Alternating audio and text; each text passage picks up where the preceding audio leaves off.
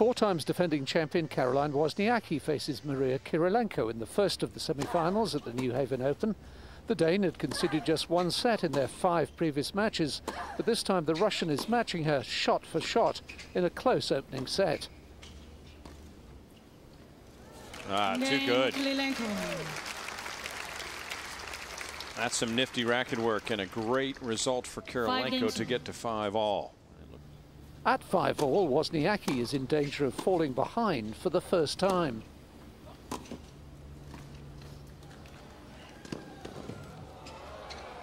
Oh, terrific points. Shame someone had to lose it because that was excellent recovery for Wozniacki athletically and for Kirilenko. Some very crafty and creative use of the racket. But not enough to get past Wozniacki. Good movement from the third seed, who'd suffered a knee injury in her previous match. She recovers to deuce, but then faces another break point. And there it is, Maria Kirilenko, who has suffered at the hands of Caroline Wozniacki in their five previous meetings, winning just one set, has a chance to take the opening set here in New Haven. Six games to five.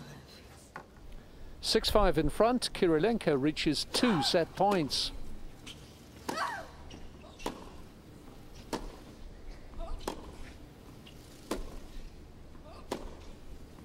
And there is the opening set to Maria Kirilenko. She's in prime position to reach her second final of 2012. Now Wozniacki's injury resurfaces. Now, Caroline Wozniacki has asked for the trainer to come to the court. She has been suffering from a right knee injury, had it taped before the match, and now the trainer has come out. Due to the injury, Ms. Wozniacki has to retire from this match. And this is tough for the fans who have come to really appreciate Caroline Wozniacki and adopt her as one of their own to see her finally lose a match here and have to do so because of retirement.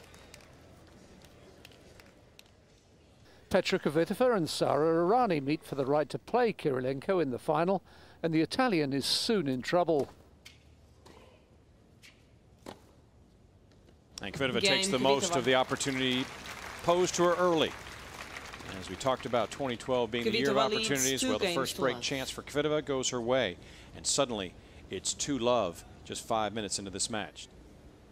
Kvitova had won both their previous matches in straight sets, and on the hard court has the power to sweep Errani aside.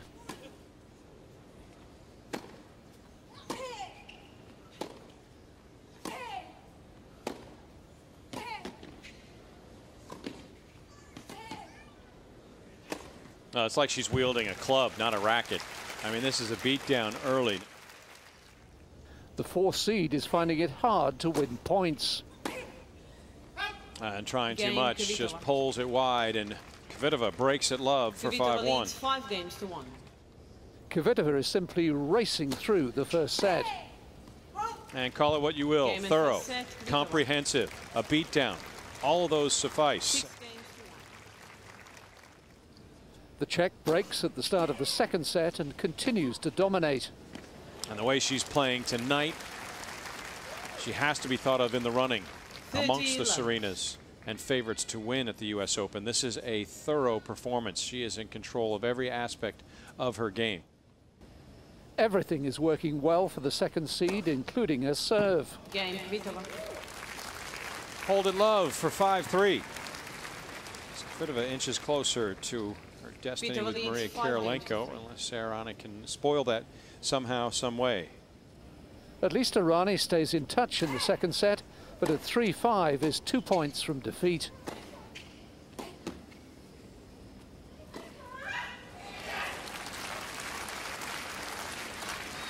And here talk about controlling points, and that was well executed right from the start. Now it's match point.